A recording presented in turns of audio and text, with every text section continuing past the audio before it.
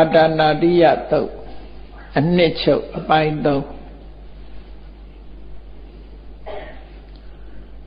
နံပါတ်7ကထာဥပေတာဗုဒ္ဓဓမ္မေဟိအထာရတဟိနာယကာမြတ်စွာဘုရားရဲ့ဂုဏ်တော်တွေကိုထုတ်ဖော်ပြတဲ့အခါ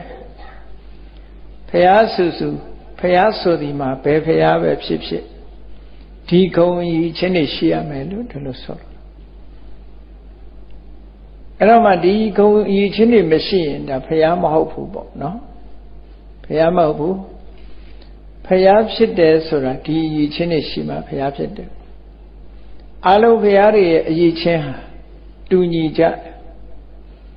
မတူညီတာကအရအမောင်းမတူညီဘူးတက်တန်းမတူညီဘူးရောင်ကြီးတော်မတူညီဘူးဒီလို အချိန်ပိုင်းခြားမှုမတူညီဘူးဒီလောက်ပဲရှိဂုံအကြီးချင်းချင်းကြတော့ဘုရားအဆူဆူအလုံးဟာတူတူပဲလို့ဒီလိုဆိုဘာဖြစ်လို့လဲဆိုတော့ဘုရားဆိုတာအကြီးချင်းနဲ့တတ်မှတ်ထားတယ်လို့ဒီလိုပြောကြံတဲ့ဟာနဲ့တတ်မှတ်ထားမဟုတ်ဣတိပိသောဘဂဝါအရဟံသမ္မာသမ္ဗုဒ္ဓောစတဲ့ဘုရားမြတ်စွာရဲ့ဂုဏ်တော်၉ပါးဆိုတာလေဘုရားဆိုတဲ့ သူတော်စင်အရှင်မြတ်တွေဟာဒီဂုဏ်တော်တွေနဲ့ပြည့်စုံရမယ်လို့ဒီလိုဆိုလိုတာနော်အဲ့ဒီဂုဏ်ကြီးချင်းနေမှာမရှိရင်ဘုရားမဟုတ်ဘုရားဟုတ်မဟုတ်သိနိုင်မို့ရအတိုင်းတာတစ်ခုဖော်ပြတဲ့သဘောပဲဒါကြောင့်မို့ဒီမှာအတ္တနာရိယတုတ်မှာဘုရားခုနှစ်စုကိုရှ िख ိုးပြီးတဲ့နောက်မှာ လောကမှာပွင့်တော်မူခဲ့ကြတဲ့အဆူဆူသောဘုရားရှင်တွေကိုလည်းပဲရှ िख ိုးမှုကိုဖော်ပြတဲ့အနေနဲ့ရှေးဆရာတွေကဖြည့်ဖြည့်ဆွတ်ပြီးတော့စီကုံးပြထားတာဘုရားရှိခိုးတဲ့ကုသကံရဲ့စွမ်းအားကြောင့်ဘေးရန်ခတ်သိမ်းကင်းငြိမ့်နိုင်တယ်အမှန်တန်ကြီးမားတဲ့မြတ်စွာဘုရားရဲ့ဂုဏ်တော်ခြေဆုတော်တွေဟာ လောကကြီးတစ်ခုလုံးကိုလွှမ်းမိုးထားတာဖြစ်လို့ခက်ထန်ကြမ်းကြုတ်တဲ့ပုဂ္ဂိုလ်တွေလည်းမြတ်စွာဘုရားနဲ့တွေ့တဲ့အခါမှာပျော့ပြောင်းသွားကြောက်ရွံ့ပြီးတော့ထွက်ပြေးတဲ့သဘောမျိုးမဟုတ်ဘူးစိတ်သက်ပျော့ပြောင်းသွားတာယဉ်ကျေးသွားတာအဗ္ဗဓမ္မရိုင်းဆိုင်တဲ့အာလဝကတို့လိုဘလူးကြီးတွေဒီပင်လေမြတ်စွာဘုရားနဲ့တွေ့လို့ဘုရားရဲ့အဆုံးအမကိုနားလဲရတဲ့အခါမှာ နောက်ဆုံးကလုံးဝယဉ်ကျေးသွားတဲ့ပုဂ္ဂိုလ်ဖြစ်တယ်အဲ့တော့တရားတော်ဟာအလွန်သိမ်မွေ့တာသူကမြတ်စွာဘုရားရဲ့စွမ်းရည်တတ္တိဟာလည်းဓမ္မသိမ်မွေ့တယ်အာနာနဲ့ချုပ်ကင်ပြီးတော့ဆုံးမတာမဟုတ်လောကမှာဘုရင်တွေကတိုင်းပြည်ကိုအုပ်ချုပ်တယ်ဆိုတဲ့အခါမှာမင်းအာနာဆိုတာအပြင်းထန်ဆုံးအပြစ်ပေးတာဆိုရင်တပ်ပစ်တယ်ပြီးတဲ့ ရော့ပါလာလို့ရှိရင်လက်ဖြတ်တယ်ခြေဖြတ်တယ်နည်းနည်းနံပေးတယ်ပစ္စည်းဥစ္စာတွေသိမ့်တယ်ထောင်သွင်းကျင်းချတယ်ဒါရင်ကျေးတော်လှုပ်တာမဟုတ်ဘူးနော်မြတ်စွာဘုရားကြတော့အဲ့လိုမဟုတ်ဘူးဆုံးမသွန်သင်တဲ့အခါမှာစိတ်ထက်ပြောင်းသွားတာပြောင်းသွားပြီးတော့လိမ္မာယဉ်ကျေးသွားတယ်နောက်ဆုံးမှာအာလဝကကြီးတို့ဆိုဘလောက်ယဉ်ကျေးသွားလဲလို့ဆိုရင် သူဟာသောအဟံဝိစရိတာမိဂာမာဂာမာပုရံပုရံနမတ္တမာနောတံဗုဒ္ဓံတတ္ထမတ္တသဓမ္မတ္တသသူဓမ္မတံသူကိုယ်တိုင်ပြောတဲ့စကားတစ်ခုသူဟာရွာတရွာမြို့တစ်မြို့ရွာတရွာမှရွာတရွာမြို့တစ်မြို့မှမြို့တစ်မြို့ပေါ့ခီးတော်လာတိုင်းရသော်ဘုရားကိုရှိခိုးပြီး ဗုဒ္ဓရဲ့မှန်ကန်တဲ့ဗုဒ္ဓဓမ္မရဲ့ကောင်းမြတ်တဲ့ဓမ္မအဖြစ်ကိုတလေးတစားအယုသိပြုပြီးတော့သွားပါမယ်လို့အတ္တမရိုင်းဆိုင်တဲ့ချမ်းချမ်းတန်းတဲ့ဘလူးကြီးကအဲ့လိုလိမ္မာရင်ကျေးသွားတဲ့ပုဂ္ဂိုလ်ဖြစ်သွားတာအဲ့ဒါလို့ဖရာတွေဆိုတာစွန့်ရည်တတိအမတ္တမရှိတယ်လိမ္မာရင်ကျေးအောင်ဆုံးမတဲ့နေရာမှာတခြားပုဂ္ဂိုလ်တွေတဲ့ထူခြားတယ် ရသော်ဘုရားရဲ့ဆုံးမဩဝါဒဆိုတာလူကိုယဉ်ကျေးစေတဲ့အရာသာဖြစ်တယ် by force နဲ့အတင်းကျပ်လောက်တာမျိုးမဟုတ်ဘူးအဲ့တော့ by force နဲ့အတင်းကျပ်လောက်တာအောင်မြင်လားလို့ဆိုမအောင်မြင်ဘူးသူကမအောင်မြင်နိုင်ဘူးစိတ်ဓာတ်ကိုပြောင်းစေတာမဟုတ်ဘူးရုပ်ကိုချုပ်ကင်တာသာဖြစ်တယ်ပေါ့အဲ့ဒါကမချုပ်ကင်နိုင်တဲ့တနေ့ကျတော့အနေရပြန်ဖြစ်တာပဲပေါ့ ဒါကြောင့်မလို့ထောင်သွင်းကျင်းချထားတဲ့ပုဂ္ဂိုလ်တွေကထောင်အထွက်ပြန်တော့ဟိုရာဇဝမှုကျူးလွန်တဲ့ပုဂ္ဂိုလ်တွေပေါ့နော်ရာဇဝမှုကျူးလွန်လို့ထောင်သွင်းကျင်းချထားတယ်ထောင်အထွက်လာပြန်တော့လေရာဇဝမှုပြန်ကျူးလွန်ညပြန်တာလိမ္မာသွားတာမဟုတ်ဘူးလို့ဆိုလို့ချုပ်ထားတဲ့သဘောလောက်ပဲရှိအဲမြတ်စွာဘုရားရဲ့အဆုံးအမတွေကိုနားလည်ရပြီဆိုရင်စိတ်နှလုံးကယဉ်ကျေးသွားပြီးတော့မဟုတ်တာမလုပ်တော့ပါဘူးနောက်ဆုံးမှာ ကိုယ့်အသက်ပင်ဆွရပါစေမဟုတ်တာမလုပ်တော့ဘူးလို့လိမ္မာယဉ်ကျေးသွားတဲ့အဆင့်မျိုးကိုရရှိသွားကြတယ်အဲ့ဒါလို့ဆုံးမပုံနိလန်းခြင်းအမှန်တမ်းကွာတော့လောကမှာဘုရားပွင့်လာတာတရားတွေရဲ့အကျိုးအားလုံးရဲ့အကျိုးအတွက်ဒီလိုဆွလို့တာပေါ့နော်ဒါမို့ဘုရားတိုင်းဘုရားတိုင်းဟာဂုံရည်ချင်းတွေတူညီသောတူညီကြပြီးတော့ဒီဂုံရည်ချင်းတွေနဲ့ပြည့်စုံတဲ့မြတ်စွာဘုရားတွေကို ရှိခိုးတယ်တဆူတယ်မကဘူးပွင့်တော်မူခဲ့တဲ့ဘုရားမှန်သမျှလက်ဥချီမိုးရှိခိုးခြင်းဒီရှိခိုးခြင်းကြောင့်ရရှိလာတဲ့ကုသိုလ်ကောင်းမှုတွေစွမ်းအားနဲ့အနည်းကင်းဘေးရှင်းအောင်အကာအကွယ်လုပ်တယ်လို့အတ္တနာရိယတုတ်ကဒီအဓိပ္ပာယ်မျိုးရတော့အဲဒါကြောင့်မို့73နံပါတ်ဂါထာမှာဘုရားသခင်နေပြည့်စုံရတဲ့ ဂုံအည်ချင်းတွေတစ်ခုပြီးတစ်ခုဖော်ပြပြီးတော့သွားတာအလုံးအတ္တနာရိယတုတ်မှာဖော်ပြထားတဲ့ဂုံကြီးတွေကိုရေတွက်ပြီးတော့ကြည့်မယ်ဆိုရင်တော့ဘုရားခုနှစ်ဆူရဲ့ဂုံကျေးဇူးဖော်တာမပါဆိုရင်ဘုရားအလုံးရဲ့ဂုံရည်ချင်းဆိုပြီးနောက်ပိုင်းမှာဖော်ပြတဲ့ခါထားတယ်30နဲ့တမျိုးရှိတယ် အဲ့ဒါပဲဘုရားခုနှစ်ဆူရဲ့ဂုံရည်ချင်းခုနှစ်မျိုးပါထက်ပေါင်းမယ်ဆိုလို့ရှိရင်နော်30နဲ့10မျိုးပေါ့ရသော်ဘုရားရဲ့ဂုံရည်ချင်းအဲ့တော့ဘုရားရဲ့ဂုံဟာဒီ30ရှင်မျိုးပဲရှိတာလားဆိုအဲ့လိုဆိုလို့တာမဟုတ်ဘူးထင်ရှားတဲ့ကောင်းတွေကိုဒီမှာထုတ်ပေါ်ပြောတဲ့သဘောပဲ အဲ့တော့စနစ်နံပါတ်ကာထာမှာဥပေတာဗုဒ္ဓဓမ္မေဟိအထာရတာဟိနာယကလို့နာယကဆိုတာမြတ်စွာဘုရားကိုအမိတက်ပြီးတော့သုံးနှုံးလိုက်တဲ့စကားလေးတစ်ခုခုခေတ်လေနာယကဆိုတဲ့စကားလုံးကိုသုံးကြတယ်နော်နာယကရဲ့အဓိပ္ပာယ်ကရှေ့ဆောင်သူလို့အဓိပ္ပာယ်ရတယ် အဖွဲတစ်ဖွဲကိုရှေ့ဆောင်တယ်တော့မဟုတ်လူမျိုးတစ်မျိုးကိုရှေ့ဆောင်အကြီးအကဲခေါင်းဆောင်နာယကရှေ့ဆောင်တဲ့ပုဂ္ဂိုလ်မျိုးနာယကနေတီတိနာယကောလို့ဆိုတဲ့အတိုင်းခေါင်းဆောင်ကိုအဲ့ဒီမိသားအလုံးတွေရဲ့ခေါင်းဆောင်ကိုလည်းနာယကလို့ခေါ်တယ်ကမ္ဘာမှာလည်းပဲလူသားအလုံးရဲ့ခေါင်းဆောင်ကိုလည်းနာယကလို့ ဗမာပြည်မှာတော့အခုနာယကလို့တင်လိုက်တဲ့လူတွေကကြောင်ထိုးခံရတဲ့လူတွေဖြစ်ဖြစ်သွားတယ်အဲ့တော့နာယကဆိုတာရှေ့ဆောင်ပုဂ္ဂိုလ်အဓိပ္ပာယ်ပါဠိစကားလုံးကရှေ့ဆောင်ဥဆောင်တယ်ဥဆောင်တယ်လို့ဆိုတော့ကောင်းတဲ့ဘက်ကိုညွန်ပြသွားတဲ့ပုံကိုမျိုးတွေဒီလိုဆွလို့တာခေါင်းဆောင်နိုင်တယ်ရှေ့ဆောင်နိုင်တယ်လမ်းပြနိုင်တယ်အဲ့ဒါကိုနာယကဒါမို့ဒီမှာ နာယကရှေ့ဆောင်လမ်းပြဖြစ်တော်မူကြတဲ့ဘုရားရှင်ကိုရောမြတ်ကြီးတွေဟာတဲ့အထရတဟိ18မျိုးကုန်သောဗုဒ္ဓဓမ္မေဟိမြတ်ဖရာဤခုံကြီးတို့နှင့်ဒီနေရာမှာဗုဒ္ဓဓမ္မဖရာတရားလို့ဒီလိုအဓိပ္ပာယ်မရဘူးဓမ္မကဂုံလို့အဓိပ္ပာယ်ရတယ်သူနေရာနဲ့သူစကလုံးရဲ့အဓိပ္ပာယ်ကိုယူတာဗုဒ္ဓဓမ္မဆိုတာ မြတ်စွာဘုရားရဲ့ခုံနေ18ပါးသောဗုဒ္ဓဓမ္မ18ပါးသောဘုရားရဲ့ခုံနေအည်ချင်းနေလို့အဲ့တော့ဘုရားရဲ့ခုံနေကကုံနိုင်တာမဟုတ်ဘူးဘယ်ဘက်ကကြည့်ကြည့်ပြည့်စုံတဲ့အည်ချင်းနေရှိနေတာပဲ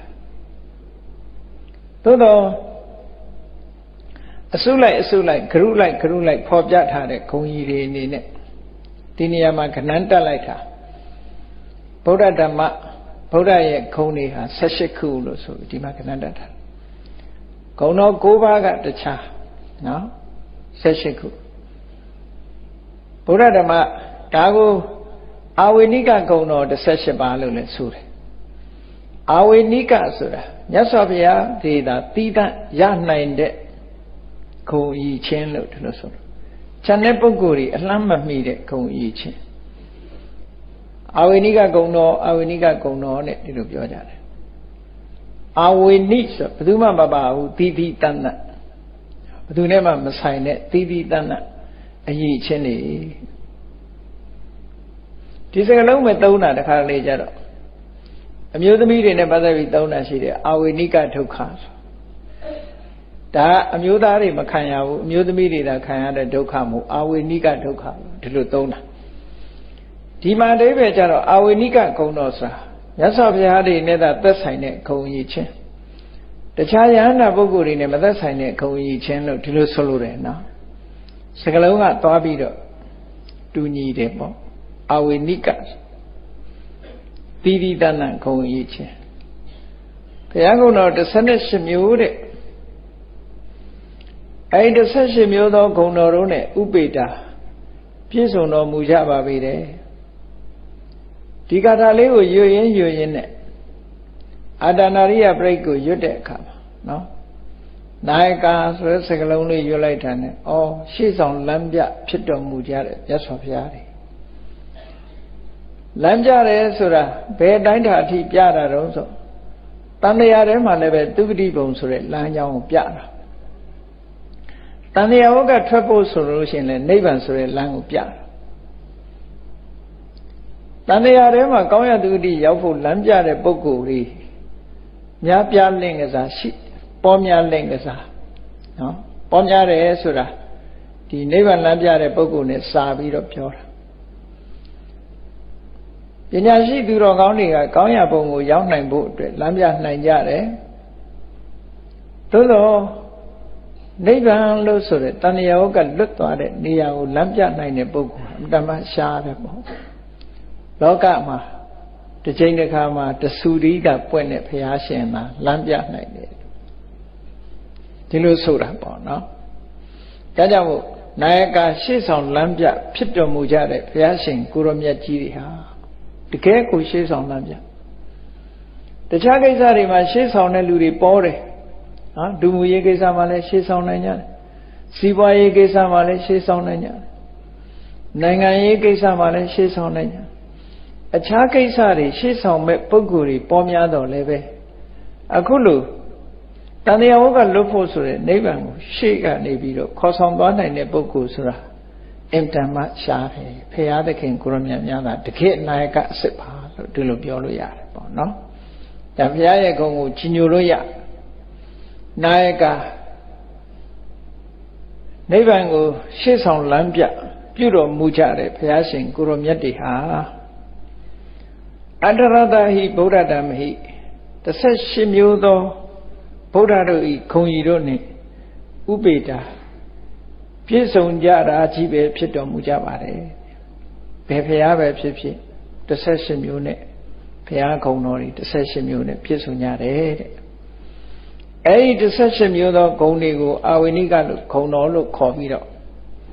စာပေကျမ်းဂန်မှာဘယ်နေရာတွေမှာဖော်ပြလိရှိတယ်လဲလို့ဆိုလို့ရှိရင်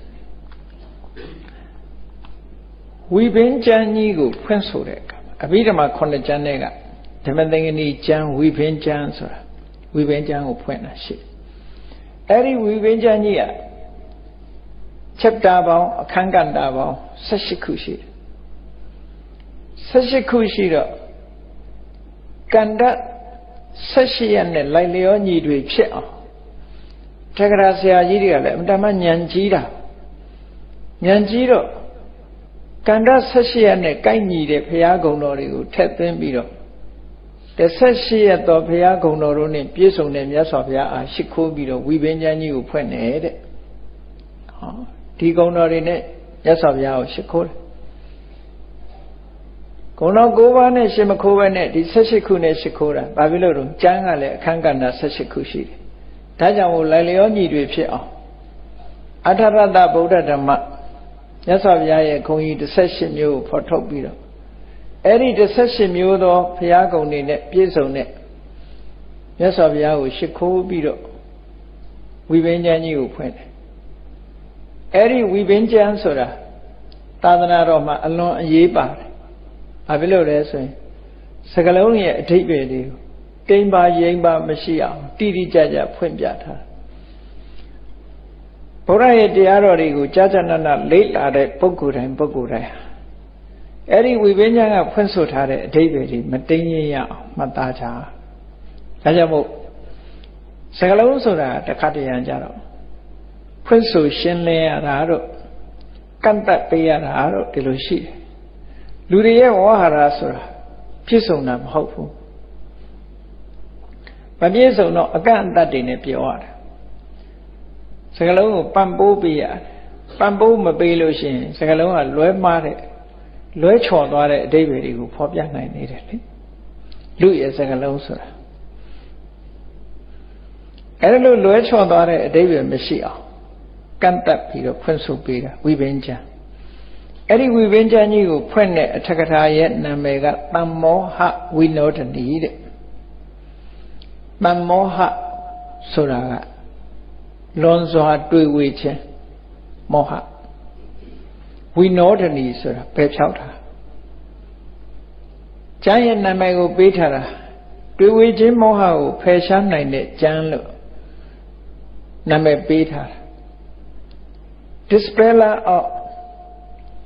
delusion ဆိုဒီလိုအင်္ဂလိပ်လိုပြန်တဲ့အခါအဲ့ဒီကျမ်းရဲ့နာမည်ကိုဒီလိုရေးတယ်သူတို့ dispeller of delusion အဲ့ဒီတမောဟဝိနောဒနေကျမ်းကြီးရဲ့ပဏာမခါထာမှာ18ပါးသောဗုဒ္ဓရဲ့ခုံကြီးချင်းများဆိုတဲ့စကားလုံးလေးပါလာတယ်အဲ့ဒီတယုတ်ကိုထုတ်တဲ့အခါကျတော့အထက်ကရာကျမ်းကိုထပ်ဆင့်ဖွင့်ပြတဲ့ဝိပင်ကမူလတီကာလို့ခေါ်တယ်။အဲဒီမူလတီကာကျမ်းမှာ18ခုဆိုတာဘာလဲဆိုပြီးတော့ထုတ်ပြထားတာ။ အဲဒီကျမ်းမှာပါတဲ့အတိုင်းခု18ပါးတယုတ်ကိုထုတ်ဆိုပြီးတော့ပြချရတယ်။မလို့ဆိုရင်18ပါးဘာမှမသိဘူးဖြစ်တတ်တယ်ပေါ့နော်။အဝိနိကကုံ18ပါး။အဲဒီ18ပါးကိုချွတ်ရကြပါလိမ့်မယ်။ဘာဖြစ်လို့တော့ဆိုတော့ဓာရဏပရိတ်ထဲမှာပါတယ်လေ။ဓာရဏပရိတ်ရတဲ့ပုဂ္ဂိုလ်တွေဒီအချက်လေးကတော့ စာပေကျမ်းကနေမှာပါတဲ့ဟာပေါ့ဓာရဏပရိတ်ပရိမိတ်တာဇာလတုတ်တို့ဓာရဏပရိတ်တို့ဆိုတာတန်ခါနာတင်တဲ့ထဲမှာပါတာမဟုတ်ဘူး။သို့တော့ဓာရဏပရိတ်ကအတော်အသင့်စကလုံးလေးတွေရှိတယ်။ပရိမိတ်တာဇာလတုတ်ကတော့ပိဋကတ်ထဲမှာမပါတဲ့စကားလုံးတွေကများတယ်သူကထူးဆန်းတဲ့စကားလုံးတွေနဲ့ရေးထားတာအဲ့တော့ဒီမှာ18ပါးသော ရသော်ဘုရားရဲ့ခုံကြီးချင်းနေဆိုတာအမှန်တမ်းမှတ်သားစရာကောင်းတယ်ပါဠိလိုပြောတဲ့အခါအတိတံသေဗုဒ္ဓတဘဂဝတောအပတိဟတညာဏံဒါတခုအတိတံသေဆိုတာလွန်ခဲ့တဲ့အတိတ်ကာလအတိတ်ဖို့စုမှာရှိတဲ့အကြောင်းအရာတွေနဲ့ပတ်သက်ပြီးမြတ်စွာဘုရားကသိကျင်လို့ ပြန်လီစဉ်းစားအသိဉာဏ်နဲ့ရှုကြည့်လိုက်လို့ရှင်အပတိဟတဉာဏံတဲ့ဘယ်ချက်ကိုစဉ်းစားစဉ်းစားအဟံတာမဖြစ်ဘူးတဲ့အတိတ်ကိုပြန်စဉ်းစားလိုက်ရင်လည်းအလုံးသိနိုင်တယ်လို့ဒီလိုပြောတာနော်ဘုန်းကြီးတို့တွေကြတော့မနေ့ကဟာတောင်တချို့မေ့နေတော့ခေါင်းကုတ်ချင်သလောက်ကုတ်မထွက်ဘူးဟိုနှစ်ကဟာဆိုသာထားနော်မနေ့ကတောင်မေ့တဲ့ဟာမျိုးမေ့သွားတယ် ဟိုလွန်ခဲ့တဲ့နှစ်တွေလွန်ခဲ့တဲ့နှစ်တွေပြန်ပြီးတော့ပေါ်ကြမှာပေါ်တာလေမေ့သွားတာတခါတခါစာလေးတစ်ချောင်းမေ့သွားတာမျိုးတွေရှိတယ်အတိတ်ကိုပြန်စဉ်းစားတဲ့အခါမှာဉာဏ်စွမ်းဉာဏ်စားကမဆူရှနိုင်ဘူးတဲ့မမှတ်မိနဲ့မြတ်စွာဘုရားတွေကြတော့အတိတ်ကိုပြန်စဉ်းစားလဲမြတ်စွာဘုရားရဲ့ဉာဏ်မှာရှေ့ကလာပြီးတော့ဟန်တာတာတို့အကာအကွယ်တို့ဘာမှမရှိဘူးဂုံရှင်းရှင်းလင်းလင်းကြီး သိကျင်တာအကုန်သိသွားတယ်လို့ဒီလိုဆိုတာဒါညာဟိစွမ်းရဲ့တတ္တိတစ်ခုပဲအတိတ်အတိတ်ကာလအတိတ်အဖို့စုမှာမြတ်စွာဘုရားဟာအဟန္တာမရှိတဲ့အနှောင့်အယှက်ကင်းတဲ့ဉာဏ်ပညာရှိတယ်အလုံးကိုသိနိုင်အတိတ်ကိုလည်းအလုံးကိုသိတယ်အနာဂတံသေဗုဒ္ဓတဘဂဝတောအပ္ပိတညာ ဗုဒ္ဓတဘဂဝတောဘုံတို့ကြီးမားတဲ့မြတ်စွာဘုရားမှာအနာဂတံသေအနာဂတ်အဖို့မှာလည်းပဲအပ္ပတိဟတဉာဏ်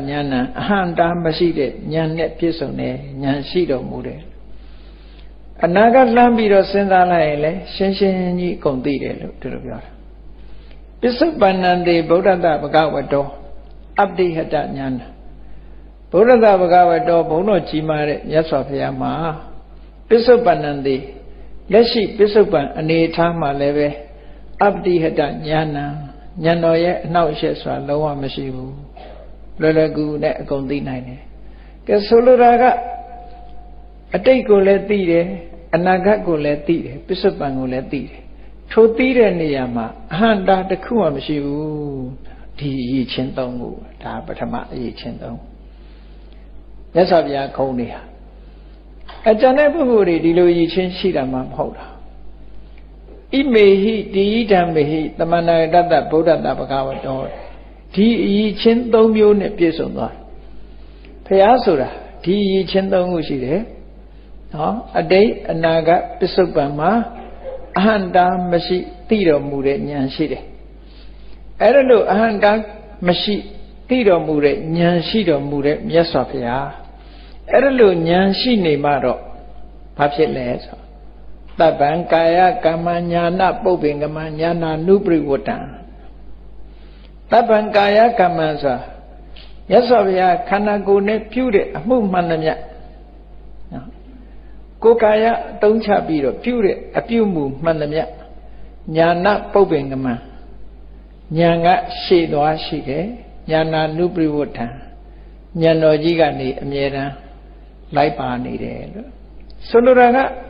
ဖះကအမှတ်တမဲ့လှုပ်တဲ့ကိစ္စတခုမှမရှိဘူးလို့ပြောတယ်လက်လှုပ်ခြင်းခြေလှုပ်ခြင်းကအစအကုန်လုံးအတိညာနဲ့လွတ်သွားတယ်လို့မရှိဘူးလို့ဒီလိုပြောတာနော်ဘာလို့လဲဆိုအတိတ်နာကပစ္စုပန်မှာမြတ်စွာဘုရားမှာဉာဏ်ကသိကျင်တဲ့အချိန်မှာဘာမှအခက်ခဲမရှိသိလို့တပ္ပံကာယကမ္မညာနာပုဝေငမညာနာနုပရိဝတ္တ ကာယကံအမှုတွေကိုပြင်းပြုတဲ့အမှုမှန်သမျှညာနာပုဝေငမညာကရှေ့ကသွားနေတယ်ညာနာနုပရိဝတ္တညာရဲ့နောက်ကိုအပြုအမူတွေကအကုန်လိုက်နေတယ်ဆိုတော့မစင်စားဘဲနဲ့လှုပ်တာတခုမှမရှိဒီလိုဆိုလို့တာနော်အလုံးစဉ်းစားတာစဉ်းစားတဲ့အသိဉာဏ်နဲ့လုပ်တယ်လို့ထို့တူပဲတပ္ပံဝစီကမ္မညာနာပုဂ္ဂိုလ်ကညာနာနုပရိဝတ္တဝစီကမ္မဆိုတာနှုတ်ကနေထုတ်ပြောတာ နှုတ်ကနေပြောသမျှစကားလဲအသိဉာဏ်နဲ့လွတ်သွားတာတခုမှဖြစ်ဘူးတဲ့မဲ့ပြီးပြောလိုက်တာတော့မစင်မကျင်ပြောလိုက်မိတာတော့ဒါမျိုးတွေမရှိဘူးမြတ်စွာဘုရားလူတွေကြတော့မစင်မကျင်ပြောလိုက်မိလို့ပြဿနာတက်တယ်ဟုတ်မစင်မစားပြောလို့ဒုက္ခရောက်တယ်မြတ်စွာဘုရားကြတော့အဲ့လိုမစင်မကျင်မစင်မစားပြောတဲ့စကားမျိုးလုံးဝမရှိပြောတဲ့စကားအတ္တမတိကြတယ်တေးကြတယ်မှန်ကန်တယ်အကျိုးရှိဟောဒီလိုသွားတာနော် နောက်တစ်ခါတပ္ပံမနောကမ္မညာနာပုဂ္ဂိုလ်မှာညာနာနုပရိဝတ္တအလုံးနဲ့အပြောတယ်မကဘူးစိတ်ထဲကတွေးတာတွေးတဲ့အလုံးနဲ့ပတ်သက်လာလို့ရှိရင်လည်းပဲအသိဉာဏ်ရှေ့သွားရှိတယ်အသိဉာဏ်ကနောက်ကလိုက်နေတယ်အသိဉာဏ်ရဲ့နောက်ကလိုက်သွားတယ်ဆိုတော့မြတ်စွာဘုရားသခင်ကိုရောမြတ်ပြုလုပ်သည်မြတ်ကိုရီလည်းရောက်လှုပ်တာပဲဖြစ်ဖြစ် နှုတ်တော်ကထုတ်ဖော်ပြောတာပဲဖြစ်ဖြစ်စိတ်ထဲကကြံတွေးတာပဲဖြစ်ဖြစ်အသိဉာဏ်လွတ်သွားတာတခုမှမရှိဘူးဒီလိုဆိုတာပေါ့နော်အလုံးပေါင်းလိုက်တဲ့အခါကျတော့ခုနကတော့ကအတိတ်နာကပစ္စုပန်မှာအဟန္တာမရှိသိတဲ့ဉာဏ်အဲ့ဒါလို့သိလို့လုံးသမျှပြောသမျှကြံသမျှတွေဟာလဲအသိဉာဏ်ရှိသွားရှိတယ်ဆို6ခု ဣမေဟိသာဟိဓမ္မေဟိဒီ6ပါးသောဂုံကြီးတို့ ਨੇ တမဏဂတတပြည့်စုံတော်မူတဲ့ဗုဒ္ဓတဘဂဝတော်မြတ်စွာဘုန်းတော်ကြီးမားရှင်တော်မြတ်ဖရာမှာအဲ့ဒါလို့ဉာဏ်နဲ့ကင်းလွတ်သွားတဲ့ဟာတခုမှမရှိတဲ့မြတ်စွာဘုရားမှာဘာကုံကြီးတွေရှိသေးတယ်လဲဆိုရင်နတ္ထိသန္တတဟာနိ စိတ်ဆန္ဒတော်ရဲ့ရုပ်လျော့သွားတာဆိုတာမရှိဘူးမြတ်စွာဘုရားဆိုပါစို့တရားရဲ့အကျိုးကိုတည်ဖို့ဖို့ဆန္ဒရုပ်လျော့သွားတာမရှိဘူးစန္ဒိဋ္ဌိပတ်ဆိုတာကောင်းတဲ့ဘက်လှုပ်ဖို့ရအတွက်ဆန္ဒအမြဲတမ်းထက်သန်အများကျိုးဆောင်ရွက်ဖို့အတွက်အမြဲတမ်းစိတ်ထက်သန်မထက်သန်တဲ့အခါလို့မရှိဘူးရော့သွားတာလို့မရှိဘူးဒီလိုဆိုလိုတယ်နတ္ထိသန္နတ ဘုန်းကြီးတို့တွေတော့တခါတခါဆန္ဒရှိတယ်တခါတလေဆန္ဒမရှိဘူးနော်ရှိတဲ့ဆန္ဒလေးကလည်းအစမပြေရော့ခြင်းရော့သွားပြန်တယ်ဟောကောင်းတာလုပ်ချင်တာလေးကပေါ်လာတဲ့အခါပေါ်တယ်စိတ်ပြည့်စရာနဲ့တွေ့ရင်ရော့သွားပြန်အဲ့ဒီဆန္ဒမြတ်စွာဘုရားကတော့စိတ်ပြည့်စရာဘလောက်တွေ့တွေ့ဒီဆန္ဒတော်ကရော့သွားတာမရှိဘူးတဲ့ဒီလိုဆိုလိုတာနော်သန္ဒိဋ္ဌိပတ်သန္ဒအဋ္ဌိပါဒသန္ဒဟာအောင်မြင်ခြင်း ကြီးမားတဲ့ထောက်အဋ္ဌိပါဒကြီးမားခြင်းအောင်မြင်ခြင်းအကြောင်းတရားလို့ဒီလိုဆိုပါတယ်ရသော်ဘုရားမှာဒီအဋ္ဌိပတ်၄ပါးနဲ့ပတ်သက်ပြီးပြည့်ပြည့်စုံအောင်ပွားထားတယ်ပြည့်ပြည့်စုံစုံပွားတဲ့စာဘုရားတဏ္ဍာမှာအပြည့်အစုံဖြစ်အောင်လှုပ်ထားပြီးတိုးပွားလာအောင်လှုပ်ထားပြီးသားလို့ဒီလိုဆိုလို့တယ်ဆိုလိုတာပါဖက်ဖြစ်နေပြီလို့ပြောတာနော်ဆန္ဒနဲ့ပတ်သက်လာရင်မြတ်စွာဘုရားပါဖက်ပဲ ကောင်းတဲ့ဘက်မှာလှုပ်ဖို့တဲ့ဆန္ဒဘယ်တော့မှယုံလျော့သွားတာမရှိဘူးတဲ့ဒါကိုနတ္ထိဆန္ဒတဟာနိနတ္ထိဓမ္မဒေသနာယဟာနိတရားဟောပြောမှုနဲ့ပတ်သက်ပြီးတော့လည်းပဲဆုပ်ယုပ်သွားတာမရှိဘူးနောက်ဆုံးမကြမ်းမမာတဲ့အချိန်ပြိဋိဘံဆံရညောင်ဆောင်ပေါ်မှာလဲလျောင်းနေတဲ့အချိန်တောင်မှာသူပ္ပထာကြီးကိုတရားဟောသွားလိုက်သေးတာပဲလေ အဲ့တော့တရားဆိုတာဟောရမယ့်အချိန်မှာဆိုရင်မြတ်စွာဘုရားတူညီသောတရားဓမ္မပြည့်ပြည့်စုံစုံဟောသွားတာကြီးပုဂ္ဂိုလ်နဲ့လိုက်လျောအောင်သာမြတ်စွာဘုရားအကျဉ်ဟောတာအကျဉ်ဟောတာဒါပဲกว่าလျှော့ဟောတာမရှိဘူးနော်လျှော့ဟောတာမရှိဘူးဓမ္မဒေသနာယဟာနိဆိုမဖြစ်ဘူးမြတ်စွာဘုရားပြည့်ပြည့်စုံစုံပဲဟောတယ်တော်တော်ဒီပုဂ္ဂိုလ်ကအချင်းလောက်ပြောရုံနဲ့နားလဲတယ်ဆိုရင်အချင်းပဲ အကျယ်ဟောမှနားလဲမယ်ဆိုရင်အကျယ်ဟောတယ်ဒါပုဂ္ဂိုလ်ရဲ့အခြေအနေလိုက်ကိုဟောတာ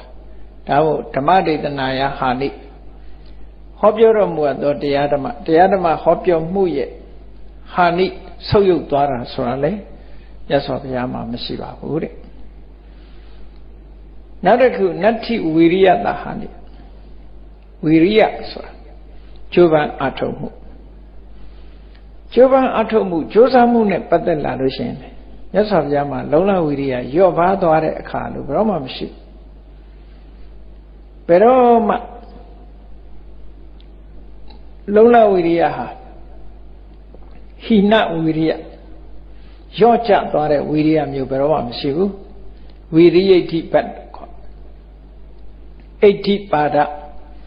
အောင်မြင်ကြီးပွားခြင်းရဲ့အကြောင်းဖြစ်တဲ့ ဝီရိယကိုလည်းပဲအစွမ်းကုန်မြတ်စွာဘုရားတဏ္ဍာမှာဖြစ်စေပြီးသားဖြစ်တယ်။ဒါကြောင့်မို့ဝီရိယရဲ့လျှော့ပါသွားမှုဆိုတာမရှိဘူး။မိုင်မောင်းမြောင်များစွာသွားပြီးတရားဟောရမယ်ဆိုလဲသွားဟောတယ်။ဒီလိုဆိုလိုတာပေါ့နော်။မကြိုးစားဘူးဆိုတာမျိုးတခါမှမရှိဘူး။မြတ်စွာဘုရားကဘလောက်ကြိုးစားအထုတ်တယ်ဆိုတာစဉ်းစားကြည့်။မြတ်စွာဘုရားဟာခိတ္တခဏ ညချိတ်ဆက်တဲ့အချိန်လေးက2နာရီလောက်ပဲရှိတယ်2နာရီလောက်ပဲရှိတယ်ကြံတဲ့အချိန်လေးကတရားဝါတွေရဲ့အကျိုးစီးပွားဆောင်ရွက်နေတာဘုရားရဲ့ဘဝကိစ္စ၅မျိုးဘုရားကိစ္စ၅မျိုးဆိုတဲ့မယ်နန္ဒခင်းလောက်ရမယ့်ကိစ္စစွန့်စားပြီးနေပိုင်းလုပ်တဲ့ကိစ္စပထမယံလို့ဆိုတဲ့ညင်ဥယံမှာလုပ်တဲ့ကိစ္စ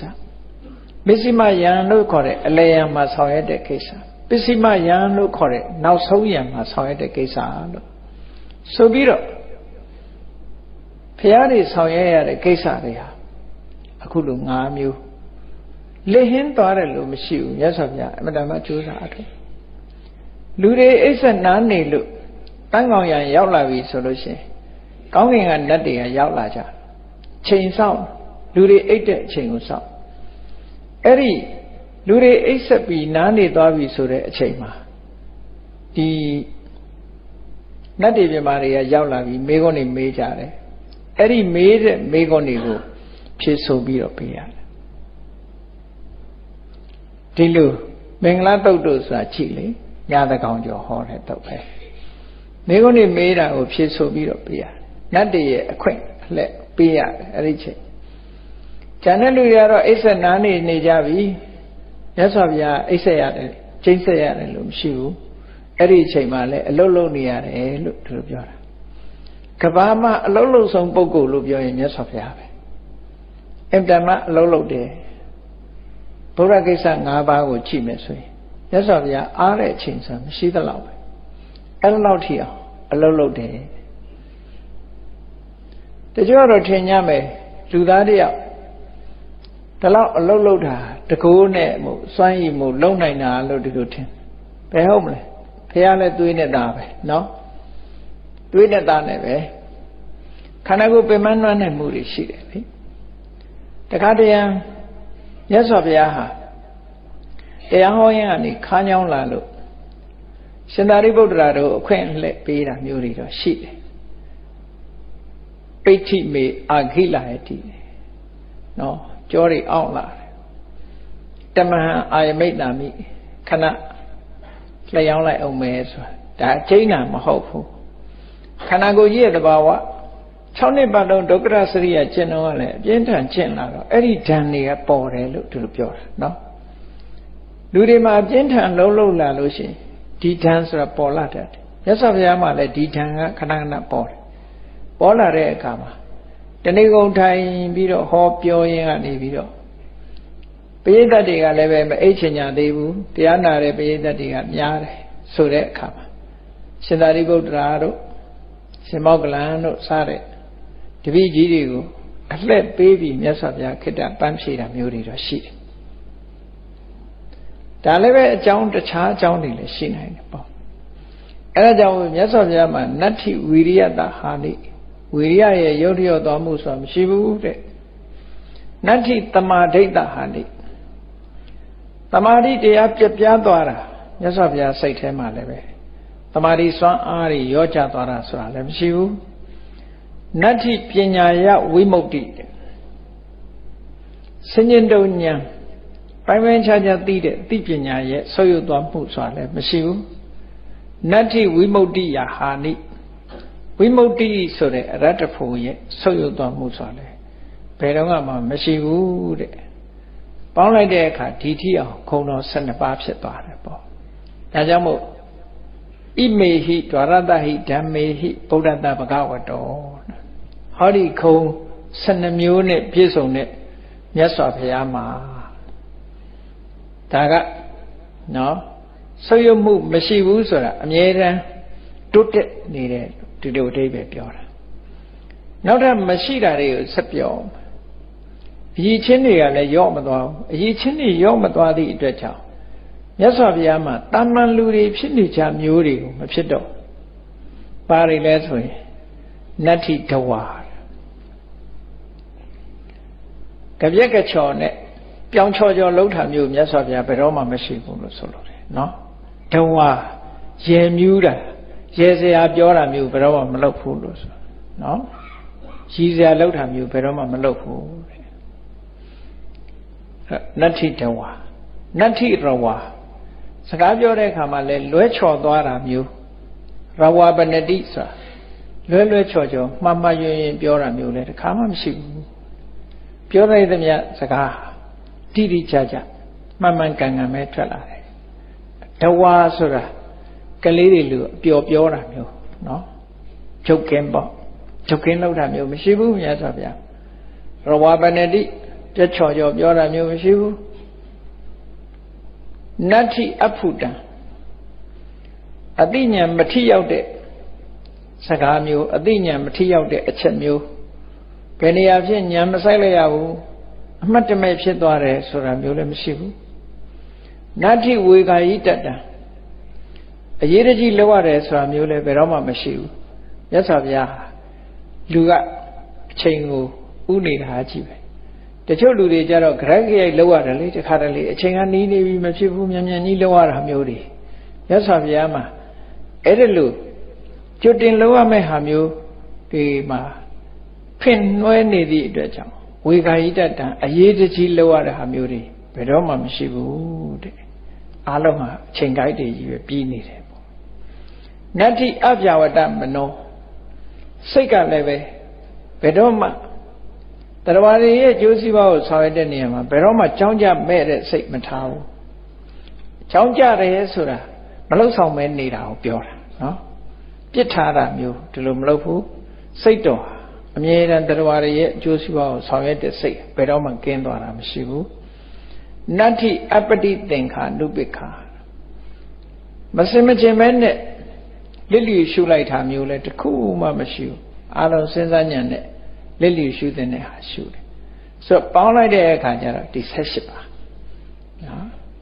ဣမေဟိအထာရတဣဓမ္မေဟိသမဏယတတဗုဒ္ဓတဘဂဝတောနမောတဲ့ဒီဂုဏတော်18မျိုးနဲ့ပြည့်စုံတဲ့ဗုဒ္ဓဂုဏတော်18မျိုးနဲ့ပြည့်စုံတဲ့မြတ်စွာဘုရားရှိခိုးပါတယ်လို့ဒီလိုဆိုတာဥပေတာဗုဒ္ဓဓမ္မေဟိသာရတဟိနာယကာဒီစကလုံးထဲမှာဒါတွေအကုန်လုံးပါသွားတယ်နော် 18ပါးသောဘုရားရဲ့ဂုံအည်ချင်းတွေဆိုတာဒါတွေတာမန်ပုဂ္ဂိုလ်တွေမှာမရနိုင်တဲ့အည်ချင်းတွေအဝိနိကဂုံတော်18ပါးအဲ့ဒီ18ပါးသောအဝိနိကဂုံတွေဟာထေရဝါဒကျမ်းစာမှာဘယ်မှာပါတော့ဆိုမူလဝိပင်ကမူလတိခါမှာပနာမအဖွင့်လေးမှာဒီ18ခုဖော်ပြထားတာရှိတယ် အဲ့ဒီ18ခုကမူရင်းကအဲ့ဒီကလာတာလို့ပဲပြောရတခြားကျမ်းတွေမှာတော့မရှိဘူးနောက်ပါဠိကတုတ်မှာလည်းပါဠိကဝက်မှာလည်းပဲနည်းနည်းမတူညီတဲ့အချက်လေးတွေပါဝင်တဲ့18မျိုးဆိုတာရှိသေးတယ်ပေါ့ဒါနဲ့ပတ်သက်လို့အမှတ်ရတာလေးတစ်ခုပြောရမယ်ဆိုရင်တိရိလင်္ကာနိုင်ငံမှာမာစတာတန်တက်နေတုန်းက Japanese Buddhism Buddhism ကိုပို့ချတယ် Mr. Indor ဆိုတာဂျပန်ဗမောက္ခတရားရှိတရက်တော့အဲဂျပန်ဗမောက္ခကမေးတယ်ဘုန်းကြီးတို့ဒီအာဝိနိကဂုဏ်တော်18ပါးပိဋကစာပေထဲမှာဘယ်မှာပါလဲပေါ့ဘယ်မှာပါလဲလို့ဆိုဘုန်းကြီးတို့အဲ့ဒီမူလဝိပင်္ဂမူလတိကအဖွင့်မှာရှိတယ်လို့ ဆိုပြီးတော့သူ့ကိုဒါကိုရွတ်ပြငယ်ငယ်တော့လည်းဒီအာဝနိကကုံတော်တွေချက်ဖူးထားတော့ရနေတာပေါ့နိများသောအားဖြင့်တော့ဗမာဘုန်းကြီးတွေကအကျက်တန်တယ်လို့ပြောမှာပေါ့နော်နှုတ်ထက်ရနေတာများတယ်အဲဒါကိုပဲချက်တာကိုပဲအပြစ်ပြောတဲ့လူတွေကလည်းပြောတယ်နိုင်ငံခြားလူတွေကျတော့ memorize လုပ်တာကိုပဲအပြစ်ပြောတာမျိုးတွေရှိတယ်ဒါမှားတယ်ပေါ့နော် memorize လုပ်တဲ့နဲ့လုပ်ကိုလုပ်အောင်မှတ်ထား အဲ့တော့သူတို့မေးတဲ့အခါကျတော့ဒီဟာကိုသူ့ကိုရွတ်ပြတယ်ဒီပါဠိကိုရွတ်ပြတဲ့အခါကျသူကဘာပြောတော့ဆိုမဟာယာနကျမ်းစာမှာလည်းပဲပါတယ်တဲ့ဒီတိုင်းပဲလို့သူကပြောဘူးတယ်အဲ့တော့မဟာယာနကျမ်းစာမှာပါတယ်ဆိုတာသူပြောလို့သိရတယ်ပေါ့လေမဟာနာမဟာယာနကျမ်းစာမှာပါတဲ့ဗုဒ္ဓရဲ့ခုံတော်18ပါးဆိုတာလေဒီတိုင်းပါပဲလို့သူပြောဦးတယ် အဲ့တော့ထေရဝါဒကျမ်းထဲမှာတော့ဝိပင်္ဂမူလတိကမှာပါတာကိုဘုန်းကြီးတို့မှတ်သားထားရတယ်တခြားမှာတော့ငငယ်ရကြတော့ကတော့ဝိပင်္ဂမူလတိကဟာဟာရလို့မသိဘူးအာဝေနိကဂုံတော်ဆိုတဲ့ခေါင်းစည်းအောက်မှာကြက်ထားတာပေါ့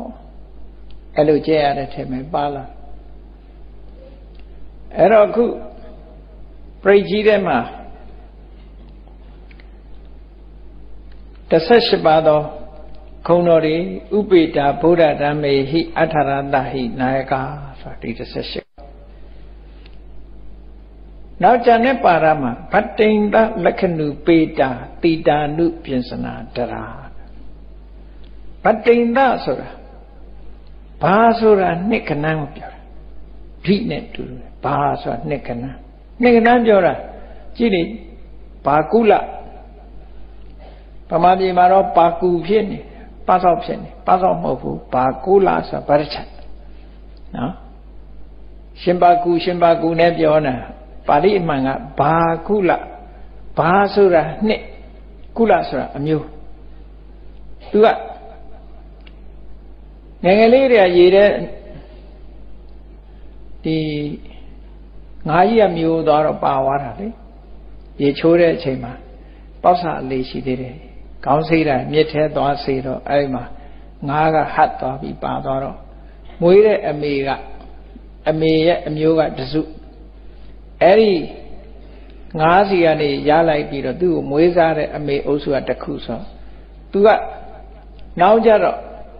မိခင်ရင်းဘက်ကိုလည်းသွားလိုက်မွေးစားအမေဘက်မှာလည်းသွားလိုက်ဆိုတော့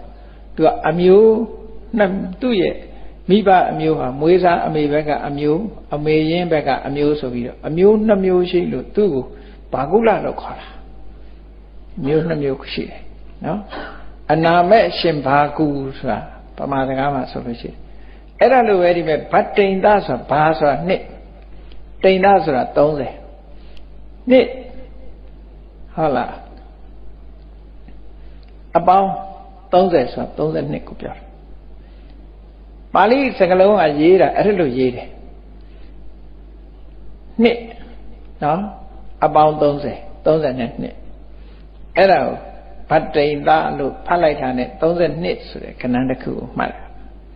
ဗတ္တိန်သလက္ခဏုပေတာလက္ခဏာဆိုတာအမှတ်သားတွေကိုပြောတာမြန်မာတွေကလက္ခဏာဆိုရင်လက်ဖွားလှန်ကြည့်နော်လက်ဖွားကအစင်းချောင်းလေးတွေကိုလက္ခဏာလို့ဒီလိုသိတယ်မဟုတ်ဘူး လက္ခဏာဆိုဒီမှာအမှတ်သားကိုပြောတာအမှတ်သားအလုံးကိုလက္ခဏာလို့ခေါ်တယ်ပါဠိစကားလက်ဖွားဟာမို့လက္ခဏာခေါ်တာမဟုတ်ဘူးအဲ့ဒါကိုသဘောမပေါက်တော့ဘာဖြစ်တုံဆိုခြေဘွားကအစင်းချောင်းကြည့်တော့ခြေခဏတဲ့မဟုတ်တာနော်ခြေခဏလုံးမှမရှိတာလက္ခဏာပဲမှတ်သားပါဠိစကားဒီလက်ကိုပြောတာမဟုတ်ဘူးလက္ခဏာဆိုအမှတ်သား အဲ့ဒီအမှတ်သားသည်လက်ဖွားရဲ့အမှတ်သားခြေဖွားရဲ့အမှတ်သားဒီလိုသာပြောရမယ်နော်ဟဋ္ဌလက္ခဏာပါဒလက္ခဏာလက်ဖွားလက်ရဲ့လက္ခဏာခြေရဲ့လက္ခဏာလူရဲ့ခန္ဓာကိုယ်ရဲ့လက္ခဏာဒီလိုပဲပြောရမယ်အဲ့လိုပြောတယ်အဲ့တော့ဗတ္တိန်သလက္ခဏုပေတာလက္ခဏာဥပေတာ32မျိုးသော အမှတ်သားတွေနဲ့ပြည့်စုံတယ်တဲ့ မြတ်စွာဘုရားရဲ့ခန္ဓာကိုယ် body ကိုကြည့်လိုက်မယ်ဆိုလို့ရှိရင်ထူးခြားတဲ့အမှတ်သားတွေ32မျိုးရှိတယ်တဲ့အဲ့ဒါတွေကိုတော့မပြောတော့ပါဘူးဘုန်းကြီးတို့9ရက်လောက်ဟောထားတယ်ပါရမီပုံရိပ်အမှတ်တစိတ်ညာဆိုတာကိုမှတ်သားနာယူလို့ရပါတယ်ယောက်ျားမြတ်မဟာပုရိသလက္ခဏာ32မျိုးစာအုပ်ထဲမှာရှာဖတ်ချင်ရင်တော့မဟာဗုဒ္ဓဝင်ထဲမှာလည်းဖတ်လို့ရမယ် မူရင်းချမ်းကတော့ပါဠိကဝက်လက္ခဏာတုတ်ဆိုတာရှိတယ်ပါဠိကဝက်မြန်မာပြန်ပါဠိတော်အဲလက္ခဏာတုတ်ဆိုတာရှိတယ်ယောက်ျားမြတ်လက္ခဏာတော့မဟုတ်မဟာပုရိသလက္ခဏာ32မျိုး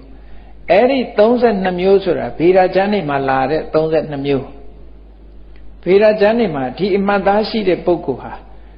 ဒီသူ့ရဲ့ဘဝ destination ပေါ့သူ့ရဲ့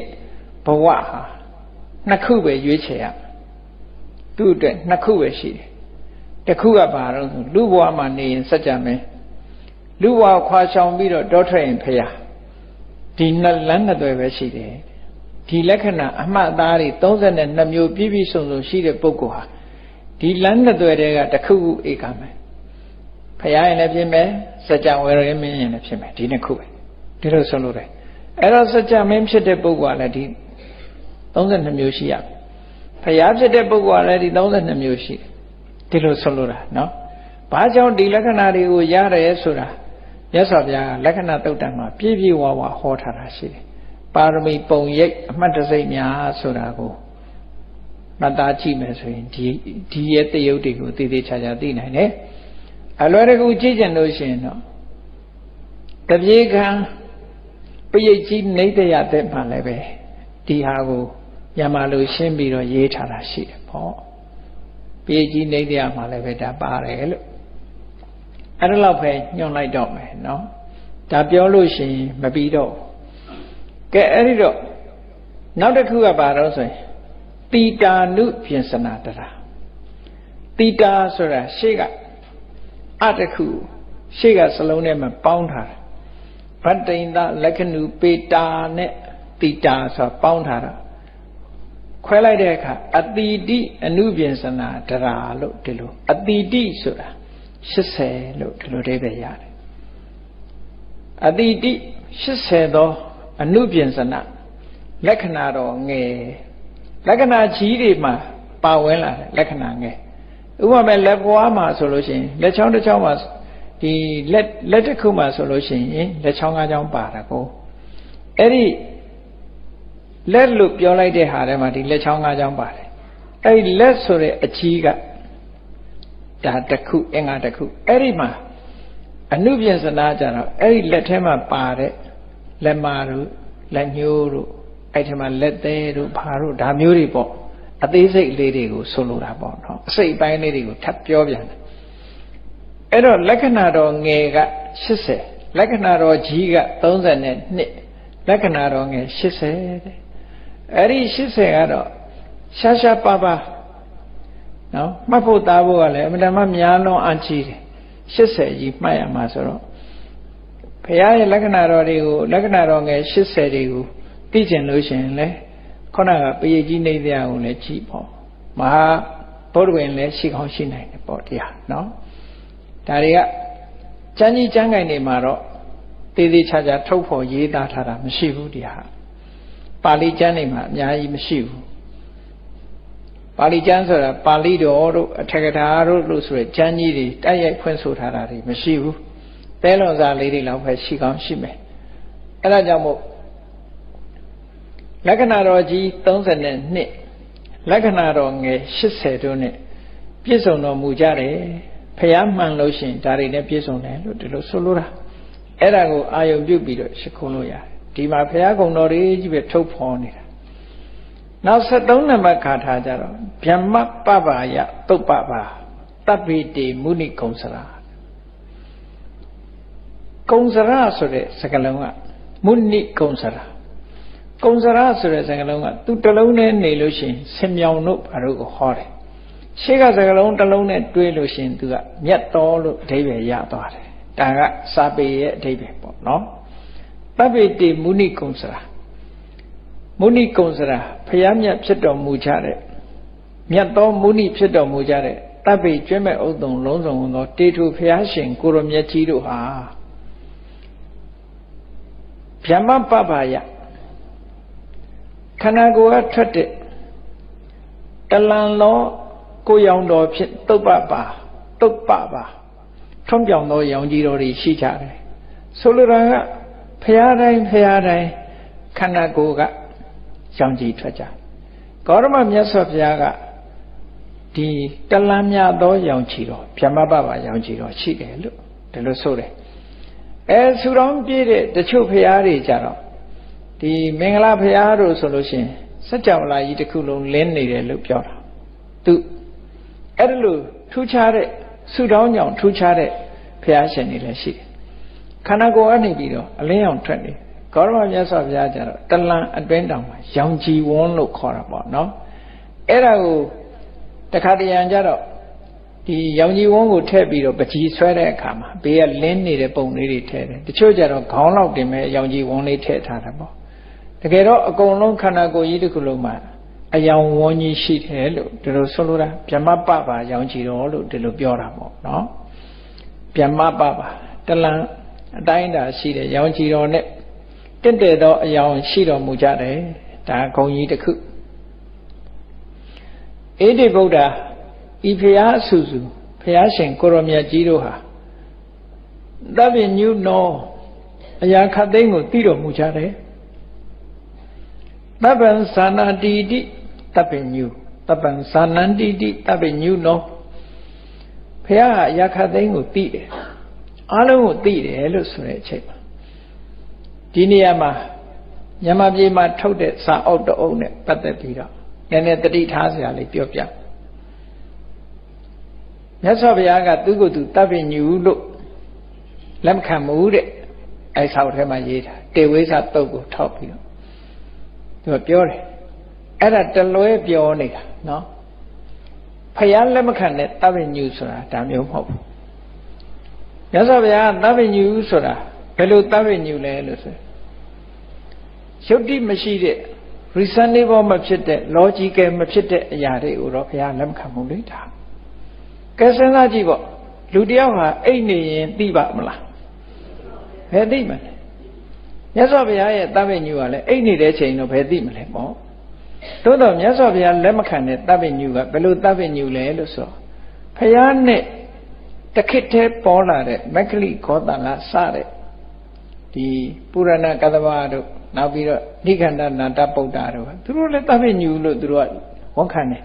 သူတို့တပ္ပညုကဘယ်လိုတုံးဆိုရင်တတတံသမိတံတပ္ပညုတံညာနာတတနာတပ္ပညုညာနာတတနာတတတံသမိတံညာနာတတနာပစ္စုပ္ပတိတံညာအမြင်ကြီးဟာအမြဲတမ်းရှိနေတယ်တဲ့ omnipresent လို့ခေါ်တယ် omnipresent ဆိုတာမြဲရှိတယ်တခြားဘာသာတွေမှာပြောတယ်မဟုတ်လားထာဝရဘုရားကြီးကအမြဲရှိတကိုးတော်နဲ့အမြဲတမ်းတောက်ပါနေ omni omnipresent တပ္ပိတညာအမြဲတမ်းရှိနေတယ်လို့သူတို့ပြောတာအဲသူတို့ပြောတဲ့တပ္ပိညုကဘယ်လိုဟာတော့ဆိုရင် တိဋ္ဌသာသနိသိဏသာသဇာဂရသာသသုဒ္ဓသာသတဲ့သူတို့ပြောတဲ့စကားလုံးကအချိလေသွားနေတုံရောရက်နေတုံရောထိုင်နေတုံရောနိုးနေတုံရောအိပ်ပျော်နေတုံရောညံတော်ကြီးကအမြဲတမ်းရှိနေတယ်ဆိုမီးထွန်းထားသလိုအမြဲတမ်းလင်းနေတယ်ဆိုအဲ့ဒီတပ္ပညုမျိုးကိုမြတ်စွာဘုရားလက်မခံတာအဲ့နေတုံဘယ်လိုလုပ်သိဒါတဘာဝမှမကြတာလေမြတ်စွာဘုရားကတပ္ပညုမဟုတ်ဘူးလို့ပြောတာမဟုတ်ဘူး လက်မခံဘူးဆိုတာသေချာစာမဖတ်လို့ဒီလူတွေကရေးရဲတာအဲ့ဒါသေချာစာဖတ်ကြည့်လို့ရှင်မြတ်စွာဘုရားညင်းပယ်တဲ့တပ္ပညုဆိုတာယုတ်တိမရှိတဲ့တပ္ပညုလေဘယ်တော့မဆိုဒီဉာဏ်ကြီးကသိနေတယ်အမြဲတမ်းလင်းနေတယ် omnipresent ဆိုတာမျိုးကိုပြောတာဒါဖြစ်မှမဖြစ်နိုင်ဘူးမြတ်စွာဘုရားမရှိတဲ့တပ္ပညုကဘယ်လိုဟာတော့ဆိုသိချင်လို့ကြည့်လိုက်တာနဲ့တပြိုင်နက်အဟံတာမရှိအကုန်သိတယ်အနာဝရဏပိတ်ပင် အဟံတာမရှိဘူးအဲညံမမီတဲ့ပုဂ္ဂိုလ်じゃသိချင်တိုင်းသိလို့ရလားဆိုဘယ်သိမှာကိုညံမမီတဲ့အရာတွေမြင်မမမြင်နိုင်တာဟုတ်အဲ့တော့မြတ်စွာဘုရားကတပည့်ညူလို့လက်မခံဘူးဆိုတဲ့အဲ့ဒီတုတ်တွေဟာအဲ့ဒါမျိုးအိပ်ပျော်နေတုံရောနိုးနေတုံရောသွားနေတုံရောလာနေတုံရောဉာဏ်တော်ကြီးကအမြဲတမ်းဟိုရှိနေတယ်ဆိုတဲ့ဟာကိုတော့ဘုရားလက်မခံဘူးဒါဒါလက်ခံရည်ကြကြီးလေ မြတ်စွာဘုရားကိုယ်တိုင်ကဝေဖန်ပြထားတာရှိတယ်ဉာဏ်တော်ကြီးကအမြဲရှိနေတယ်လဲဆိုသေးတယ်တဲ့တခါတခါခွေးစိုးနဲ့တွေ့လို့တခါတခါကျဆင်စိုးကြီးနဲ့သွားတိုးကျင်တိုးတယ်တဲ့ညာတော်ကြီးကအမြဲတမ်းရှိနေရင်စင်စိုးကြိုသိရမှာပေါ့နော်ခွေးစိုးနဲ့ပဲတိုးမလဲဒီလိုဟာမျိုးတွေရှိတယ်လေအဲ့ဒီလိုတုတ်တန်ထဲမှာပြည့်ပြည့်စုံစုံပါရတန်းနဲ့စာကိုသေချာမဖတ်နိုင်ပဲနဲ့ဒီဝေဘာနာတွေရှိတယ်ပေါ့တော့ စာဆိုတာကတလုံးလေးဆိုရင်လည်းတလုံးပဲအင်တန်မှအရေးကြီးတယ်သူပြောတဲ့တပ္ပညုတညာကအိပ်ပျော်နေတုံးလဲဒီညာကြီးကရှိနေတယ်လို့ပြောလို့ဘုရားလက်မခံနာအဲ့တော့ကောင်းပြီတပ္ပညုတဉာဏ်ဆိုဒီမှာဘာလဲအလုံးကိုသိတယ်ဆိုမြတ်စွာဘုရားပြောတယ်လေခန္ဓာ၅ပါးအကျွမ်းကြံဖြစ်အောင်သိတယ်လေခန္ဓာ၅ပါးပဲရှိတယ်ဒီတယ်လည်းမပူဘူးဒီတယ်လည်းမလျော့ဘူးသစ္စာ၄ပါးအာရဏ12ပါး ဒီတရားတွေမှန်တယ်မြတ်အကျွမ်းကြံမရှိသေးပြီးချင်လို့ကြည့်လိုက်တယ်ဆိုလို့ရှိရင်အကုန်လုံးသိနိုင်တယ်အဲ့ဒီဟာကိုတပ္ပယုတဉာဏ်တော်လို့ဒီလိုခေါ်တာမြန်မာပြည်မှာတခါတော့ကအတိကဲတစ်ခုမုံရွာဘက်ကလူတယောက်ရေးတာပေါ်လာတော့ခဲ့ဘူးလေတပိညုတဉာဏ်ဆိုတာရှိသလားဆိုတဲ့တခါတော့ရေးတာရှိတယ်ပေါ့ဟိုးနည်းနည်းအသက်အရွယ် အဲ80လောက်စားပေလိုက်စားတဲ့ပုဂ္ဂိုလ်တွေဆိုကြားဘူးကြပါလိမ့်မယ်အဲ့ဒါရေးတဲ့လူရဲ့နာမည်ဆောက်ထိုးတဲ့ဘာရေးကြတဲ့ဆောက်ထိုးဖြစ်နော်သဗ္ဗညုတဉာဏ်ဆိုတာရှိသလားဆိုပြီးသူကမရှိဘူးလို့ပြောချင်တာပေါ့နော်အဲ့တော့မြတ်စွာဘုရားဒီမှာကြည့်ဗုဒ္ဓသဗ္ဗညုနောဣတိအရာခသိန်းကိုသိတော်မူကြတယ်တဲ့သဗ္ဗညု တရားခတ်သိမ်းကိုသိတော်မူတယ်မြတ်တပ်ပိခိနာတဝဇိနာတပ်ပိလုံးစုံကုန်သောဇိနာအောင်တော်မူသောမြတ်စွာဘုရားတို့ဟာခိနာတဝအာတဝတရားမှန်သမျှအကျဉ်းချံမရှိအောင်ကုန်ခန်းပြီးသားဖြစ်တော်မူကြတယ်ဟောဒါဘုရားရှင်ရဲ့ခုံတွေကိုထုတ်ဖို့ပြောတာနော်ဒါတွေကိုအာယုံပြုလို့ရတာပေါ့နောက်တစ်ခါ14နံပါတ်ကထားကြတော့မဟာပပ္ပ မဟာတေစာမဟာပပ္ပဆိုတာကြီးမားတဲ့အလင်းအောင်အလင်းအောင်ဆိုဒီမှာခန္ဓာကိုယ်ကအလင်းအောင်နဲ့လည်းဆိုင်တယ်အသိပညာရဲ့အလင်းအောင်နဲ့လည်းဆိုင်တယ်မဟာတေစာကြီးမြတ်သောအစွမ်းတကိုးတွေလည်းရှိကြတယ်မဟာပညာကြီးမားသောပညာလည်းရှိကြတယ်မဟာဗလာကြီးများသောကာယဗလာညာနာဗလာနဲ့လည်းပြည့်စုံတော်မူကြတယ်စွမ်းအားတွေမတန်မကြီးတယ်ဖရာတွေ မဟာကာရုဏိကဓိတာဖရာမှန်တယ်များဟာမဟာကာရုဏိကတရားတွေပေါ်မှာအကျဉ်းနာတရားထားတယ်ဘယ်တရားတော့ငါမတနာဘူးဆိုတာမရှိဘူးနော်တရားတွေအလုံးပေါ်မှာထတ်တူညီမြတ်ကရုဏာထားတယ်ဖရာကရုဏာထားတယ်တမန်ပုဂ္ဂိုလ်တွေကြတော့ကိုယ်နဲ့မတည့်တဲ့လူပေါ်မှာဘယ်ထားနိုင်မှာတော့နော်မြတ်စွာဘုရားကြတော့ ကိုယ်နဲ့တဲ့သည်ဖြစ်စေမတဲ့သည်ဖြစ်စေတရားအလုံးတွေပေါ်မှာညီတူညီမျှကရုဏာထားနိုင်တယ်ဒါကြောင့်မို့မဟာကာရုဏိကာဒီရာရဲရင်ကြည်ကြည်တဲ့တမာရီစွမ်းအားတွေရှိကြတယ်တဗ္ဗေတဏ္ဏဒုက္ခဝဟံတရားအလုံးရဲ့ချမ်းသာဒုက္ခကိုလည်းဆောင်ယူပေးတော်မူကြတယ်တရားအလုံးရဲ့ချမ်းသာဒုက္ခတရားအလုံးကို ဒုက္ခကိုဆောင်ယူပေးတယ်လို့ဒီလိုအဓိပ္ပာယ်ရတယ်ပေါ့ဒုက္ခအာဝဟအာဝဟဆိုတာကိုယ်စီယူလာတာဝဟဆိုတာကြယူသွားတာ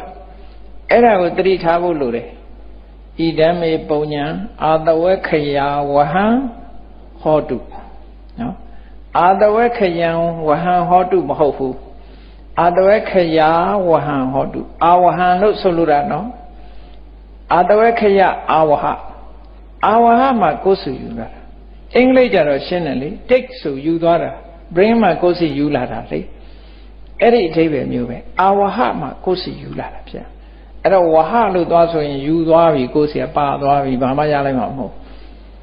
ဣဒံမေပုံညာအာတဝခယဝဟံပြီးအောင်ဆိုတာဒီကောင်းမှုသည်အာတဝခယကို ဆောင်ယူပေးပါစေ ဒီလိုဆိုလိုတာအာတဝခယတွေကိုကိုယ်စီယူလာပါစေဒီလိုပြောတာယူသွားပါစေဆိုရင်သွားပြီအဲ့ကြမရတော့ဘူးနော်ထိတ်ကဝေးပဲမတူဘူးအဲ့တော့ဒီမှာလည်းကြည့်ဒုက္ခဝဟဆိုဒုက္ခအာဝဟချမ်းသာကိုကိုယ်စီယူလာမြတ်စွာဘုရားယူပေးတာ15နံပါတ်ကထားကြတာဒီပါနာထာပဋိဋ္ဌာသ တာနာလေနာသပါဏိနံပါဏိနံတတဝအာလုံးတို့ရဲ့ဒီပါမိခိုအားထားရာကျွမ်းကြီးတစ်ဖွဲ့ဖြစ်တယ်သို့မဟုတ်တရားအလုံးကိုအလင်းဆောင်တဲ့စီမီးတစ်ဆောင်ပမာဖြစ်တယ်ပေါ့ပင်လယ်ထဲသွားတဲ့အခါမှာရေပြင်ထဲမှာသွားတဲ့အခါကျွမ်းမြေဆိုတာအမတန်မှအာကိုရတယ်လေအာကိုရတယ်အဲ့ဒါလိုပဲ ယက်တီနိုင်မှုအတွက်ကျွမ်းမြေဟာအမတန်မှအာကိုရမမြုပ်အောင်အာကိုရတာလို့မြတ်စွာဘုရားဟာတရားတွေရဲ့အာကိုရာတစ်ခုဖြစ်တယ်လို့ဆိုတော့နာထနာထရဲ့အတိပ္ပယ်ကတတ္တဝရရဲ့အကျိုးစီးပွားကိုဆောင်ရွက်တယ်ဆိုအတိပ္ပယ်နော်ပဋိဋ္ဌတတ္တဝရရဲ့တရားမိယာဖြစ်တယ်နော်တာနာတတ္တဝရကိုစောင့်ရှောက်တတ်တယ်ဘ ယ်လိုစောင့်ရှောက်တာလဲဘုရားစောင့်ရှောက်တာစောင့်ရှောက်ပုံစောင့်ရှောက်နည်းကဘယ်လိုတုံးဆိုရင်အကုသိုလ်တွေမလုပ်ကြနဲ့ကုသိုလ်တွေလုပ်ကြစိတ်ဖြူစင်အောင်ဒါဒါစောင့်ရှောက်တာပဲနော်ဆုံးမဩဝါဒပေးပြီးတော့မှန်ကန်တဲ့လမ်းကြောင်းပေါ်တင်ပေးခြင်းဖြင့်စောင့်ဒီနည်းပဲစောင့်ရှောက်လို့ရတယ်လေကိုသားသမီးကိုချစ်လို့ပညာတတ်ကြီးလုပ်ပေးခြင်းလို့ရှင်ဘာလုပ်ပေးရကိုကိုယ်တိုင်ကနေပြီးတော့ဟို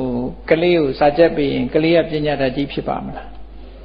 ဖြစ်ဘူးဘာလုပ်ပေးတော့ဆို condition အခြေအနေကောင်းကိုကိုဖန်တီးပေးတယ်ဆရာကောင်းစီပို့ပေးမယ်ကျောင်းကောင်းကောင်းထားပေးမယ်ဘပတ်စံအကုန်ကြခံမယ်ပညာရေးနဲ့ပတ်သက်ပြီးလိုအပ်တာတွေပံ့ပိုးမယ်ပဲဒါပဲလုပ်လို့ရတာမဟုတ်လားကလေးကစာမကြက်ဘူးဆိုပဲရမလဲအဲ့ဒါလိုပဲမြတ်စွာဘုရားသခင်ကိုရမြတ်ကစောင့်ရှောက်တယ်ဆိုတာတချို့ကတော့ထင်ရှားတယ် မြတ်စွာဘုရားဒီကျွန်ုပ်ရဲ့ဥခေါင်းပေါ်၌နေပြီးစောင့်ရှောက်ပါလေဆိုဘုရားကလာပြီးတော့ကိုယ့်ဘုံဂျူတီချထားသလိုစိတ်ဘယ်လိုလုပ်ရမလဲအဲ့ဒါလို့နော်ဘုရားဟောသွားဂျူတီချလို့အဲ့တော့တာဏစောင့်ရှောက်တယ်ဆိုတာမဟုတ်တာတွေမလုပ်ဘဲနဲ့ကောင်းတာတွေကိုလုပ်တယ်ဘုရားရဲ့အဆုံးအမလိုက်နာတာအဲ့ဒီနီးနဲ့စောင့်ရှောက်တာဒီလိုဆွလို့တာလေနမြတ်စွာဘုရားဟာရှဲဥတာ ပုံခိုရာဖြစ်တယ် မုံတိုင်းတိုက်လာလို့ရှင်မုံတိုင်းခိုရမယ့်နေရာ shelter လေနာပုံးစရာခိုးစရာရသော်ဘုရားသခင်ကိုရမြနော်ပုံးစရာခိုးစရာပုံးစရာခိုးစရာတွေကိုဖန်တီးပေးနိုင်တာမို့ပုံးခိုရာအစစ်ဖြစ်တယ်လမ်းမှန်ကိုတိသွားပြီဆိုရင်တကယ်ပုံးခိုရာအစစ်ဖြစ်တယ်လေအဲ့ဒီအဓိပ္ပာယ်မျိုးဟောတာ ဒီပါဏာထာပဋိဋ္ဌာသတာနာလေနာသပါဏိနာဟိုရထပါဠတုတ်တံမှာတော့ရသော်ဗျာဟောတာနော်အတ္တနောလောကောအနဘိတ္တရောအဲ့ဒါနဲ့နှိုင်းရှင်ပြီးတော့ကြည့်အတ္တနောလောကောအနဘိတ္တရောလောကကြီးကကဲတင်မဲ့လူမရှိဘူး။ကိုချင်းနာချင်းသေချင်း ဖြစ်လာပြီးတဲ့နောက်မှာအိုခြင်းနာခြင်းသေခြင်းကကဲတင်နိုင်တဲ့ပုဂ္ဂိုလ်မရှိဘူးဒါမှန်တယ်မြတ်စွာဘုရားကအိုခြင်းနာခြင်းသေခြင်းကနေလွတ်အောင်ဘယ်လိုကဲတင်တယ်လဲလို့ဆိုဖြစ်လာပြီးတဲ့အချိန်မှာကဲတင်တာမဟုတ်ဘူးမအိုရမနာရတရားကိုဟောကြားပေးလို့အဲ့ဒီတရားကိုကျင့်ကြံကြိုးကုပ်အားထုတ်ခြင်းဖြင့်တခါသာအိုနာသေပြီးတော့နောက်ထပ်အိုခြင်းနာခြင်းသေခြင်းမရှိတော့တာဒါကဲတင်တာပဲပေါ့ဒီလိုဆိုလို့တာနော်အဲ့ဒါလိုနားလဲဖို့လိုတယ် နောက်တစ်ခါဂတိပန္တုမဟိတတတရဏာသဟိတိတိနောဂတိရသော်ဘုရားသခင်ကိုရမြတ်ကိုအကုအထာပြုချရတယ်ဘန္တုရသော်ဘုရားဟာတကယ်ကိုဆွေမျိုးအရင်ချတဲ့အကုရတဲ့တကယ်ဆွေမျိုးကြီးပဲဟောတကယ်ဆွေမျိုးဆွေမျိုးတော်လောက်အာမကိုအောင်လေတကယ်ကြတော့ဆွေမျိုးကလည်းပါတော့ဘူးတိပြီးရင်ဆွေမျိုးတော်တယ်ရွှေရှိမှဆွေမျိုးတော်တယ် ရွှေမရှိရင်ဆေမျိုးတော်မဲ့လူမရှိဘူးဒါသိကြပဲဟောမြတ်စွာဘုရားအဲ့လိုမဟုတ်ဘူးရွှေမရှိလဲဆွေမျိုးတော်မှာပဲဗန္ဓုတကယ့်ကိုဆွေမျိုးအစ်စ်ဖြစ်တယ်မဟိတတာဒီစကလုံးလေးကတလုံးနဲ့ပဲဖြစ်ပေမဲ့လို့ရှင်းတော့ကမဟိတတာဆိုတဲ့စကလုံးနဲ့အဓိပ္ပာယ်ပြန်တဲ့အခါမှာတီးရမိရအာကိုရဖြစ်တယ်ဆိုတော့ ရှေ့ကစကလုံးတွေနဲ့သွားအဓိပ္ပာယ်သွားတူးနေတယ်ပဋိဋ္ဌာတို့နော်တာနာတို့အဲ့ဒါတွေနဲ့အဓိပ္ပာယ်သွားတူးတယ်အဲ့တော့ဒီစကလုံးရဲ့အဓိပ္ပာယ်အမှန်အတက္ကရာတွေအဲပရိကြီးတီဃာတို့ဘာတို့ကလည်းဒီဟာကိုမှန်အောင်ဒီအဓိပ္ပာယ်ဟာမဟိတာတာမဟိတာတာတို့မို့မဟိတာတာဆိုတဲ့ပုဂ္ဂိုလ် မဟာအိတ်တတာအိတ်တတာဆိုတာကြတော့လေးသမားလို့အဓိပ္ပာယ်ရတယ်မဟာအိတ်တတာလေးသမားကြီးတစ်ဖွဲ့ဖြစ်တယ်ဆိုဒီလိုအဓိပ္ပာယ်မျိုးကလည်းဒီနေရာမသိတော့ဘူးအဲ့တော့အာကိုရာမိကိုရာဆိုတဲ့အဓိပ္ပာယ်ကိုဖွင့်ရတယ်ဖွင့်တော့ဒီအဓိပ္ပာယ်တဲ့ကောင်းတဲ့အဓိပ္ပာယ်ကိုဒီမြန်မာနိုင်ငံမှာပါဠိစာပေမှာတကယ်ကိုထူးထူးချွန်ချွန်တတ်တဲ့ပဇွန်တော်ရွှေချင်းကျောင်းတိုက်ကတပြေကံဆရာတော်ဘုရားကြီးဆိုရှိတယ်နော် အမတမထူးချွန်တယ်ပမာပြေမှာပါဠိပညာရှင်တွေအားလုံးဒီပါဠိတတ်တဲ့ဘုန်းကြီးတွေလောကစတတ်ဘုန်းကြီးတွေလောကကအားလုံးသိတယ်ပေါ့ဒါတရားဓမ္မတွေကတော့အကုန်သိချင်မှသိမယ်စတတ်တဲ့ဘုန်းကြီးတွေလောကမှာဆိုရင်ဒီဆရာတော်ကြီးရဲ့ပညာကိုလေးစားကြရတယ်အားလုံးအမတမထူးချွန်တဲ့ဆရာတော်ကြီးဝိသုဒ္ဓိမဲ့ဏိဒန်းကြီးကိုရေးထားတာကို ပါဠိဂါထာတွေနဲ့ပြန်ပြီးတော့ရေးတဲ့အခါမှာရှင်ဗုဒ္ဓဂောသတို့လက်ရလောက်ကောင်းအောင်ရေးနိုင်တဲ့ပါဠိဘာသာကိုလက်ရကောင်းကောင်းရေးနိုင်တဲ့ဆရာတော်ကြီးအဲ့ဆရာတော်ကြီးကဒီပါဠိရဲ့ဖြစ်နိုင်တာကိုသူကအတိတ်ပဲဖော်ထုတ်ပေးသွားတယ်။ဒါတူသူအစဆုံးပဲနော်ပထမဆုံးဖော်ထုတ်ပေးတာအဲ့ပေကြီးနေတဲ့အတဲ့ကိုရှာဖတ်ကြည့်မဟိတတာဆိုတဲ့နေရာမှာသူဖော်ထုတ်တဲ့အဓိပ္ပာယ်က မဟိတတာဆိုတဲ့ပါဠိမှာတဲ့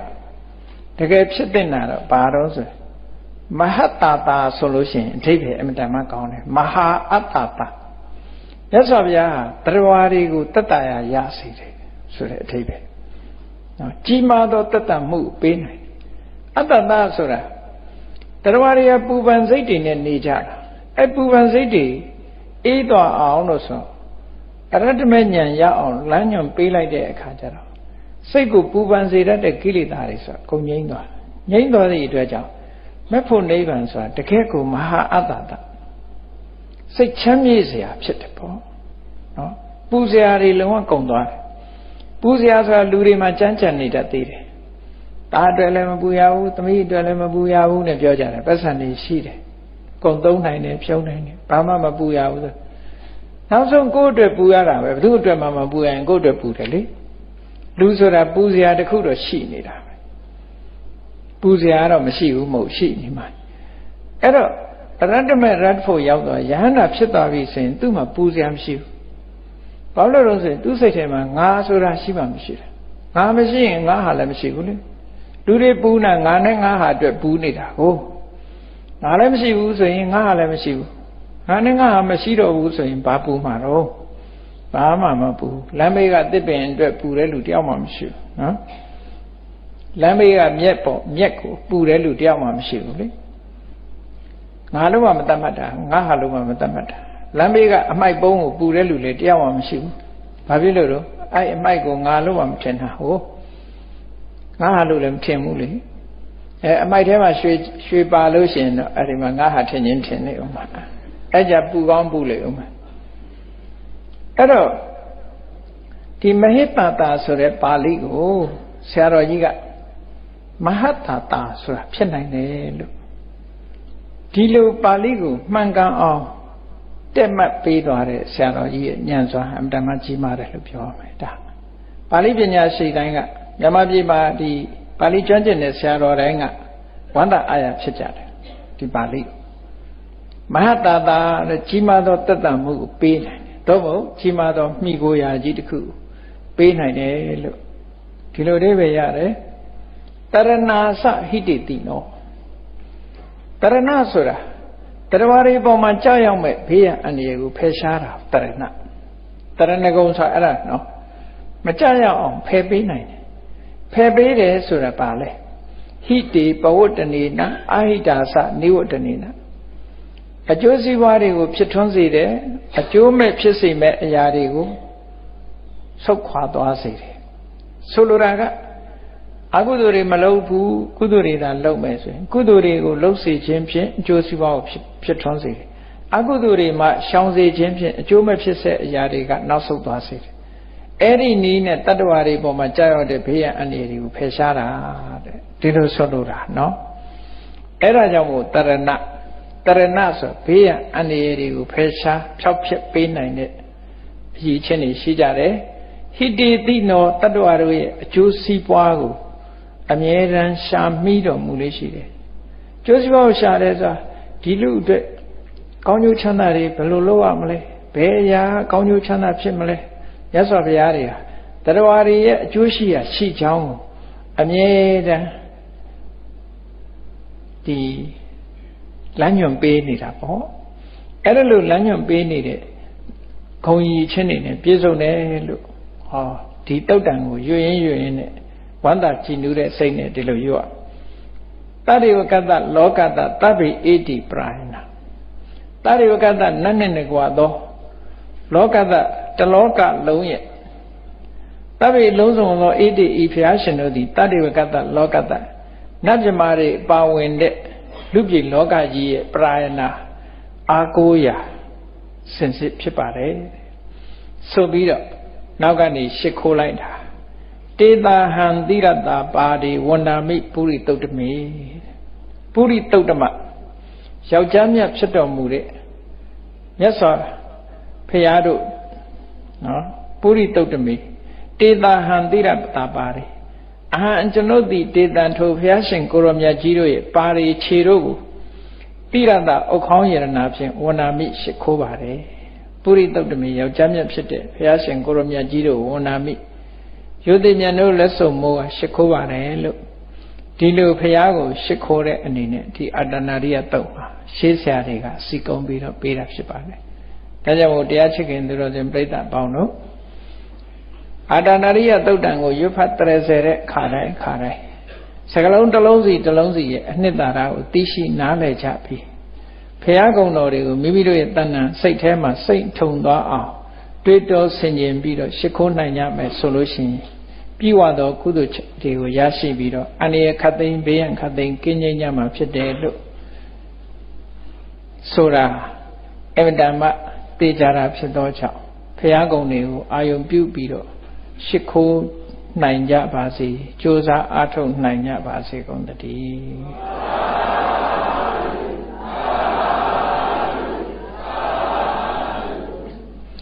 ကဲမေတ္တာပို့ရအောင်တတဝါများစွာ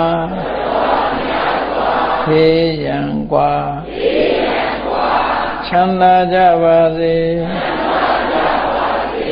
တတဝါများစွာ ဖေးရန်กว่าချမ်းသာကြပါစေမေတ္တာရေချမ်းသုံးငါဖြံငြိမ်းချမ်းကြပါစေမေတ္တာရေချမ်းသုံးငါဖြံငြိမ်းချမ်းကြပါစေသက်ရှိချမ်းမာ စိတ်ချမ်းသာလူရဆန္ဒပြည့်ပါစေသက်ရှိချမ်းမာစိတ်ချမ်းသာလူရဆန္ဒပြည့်ပါစေလူရဆန္ဒပြည့်ပါ